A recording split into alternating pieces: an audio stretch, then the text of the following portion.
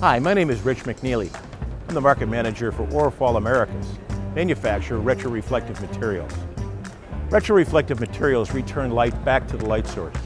So when you're sitting in your vehicle, you're very close proximity to your headlights. So imagine the light is coming right back to the light bulb.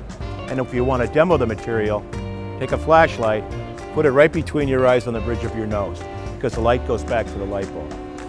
There are two technologies used to make retroreflective material. There's prismatic technology, and in prismatic technology, we've got microscopic prisms laminated to a film.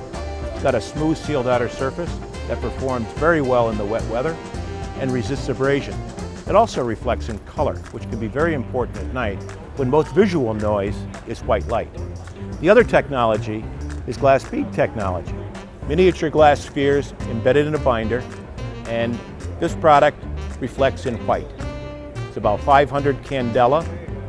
The prismatic material is about 1,000 candela. We'd like to show you a demo of how the two products work under wet conditions.